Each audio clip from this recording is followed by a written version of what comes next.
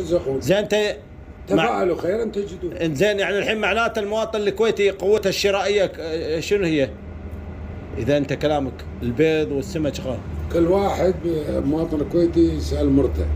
هي القوه الشرائيه مو يعني يبي له كل يوم آه، ايدام 10 دنانير؟ أكثر. والله. اليوم؟ إيه. أكثر اذا إيه. إذا بيشتري زبيدي أكثر.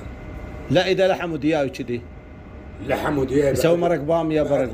إذا التموين حاطين قبل كرتون كرتون الدياي كان بثلاث دنانير ودينارين ونص شنو؟ إنزين ارتفع زين ليش يصير عشرة؟ قبل كورونا وقبل الأزمة العالمية ليش يوصل عشرة؟ إي والله عطني. سبب عطني سبب ليش؟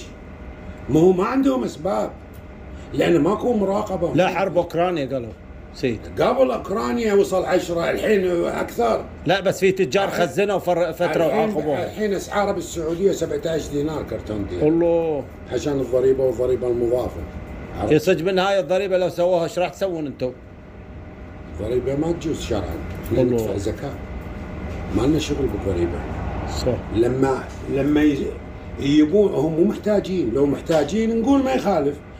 لما يرجعون المسروقات اللي برا عرفت شلون؟